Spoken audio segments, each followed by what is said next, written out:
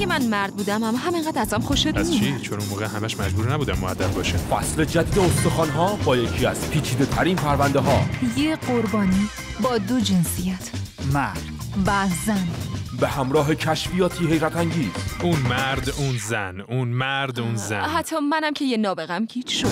مرموزترین پرونده ها اگه من زن بودم بیشتر ازم خوشت نه ممکن بود خوشگلتر از من میبودی و بهت حسودی می‌شد. آره حتما هم خیلی خوشگل می بودم از اون خوشگلای حسابی.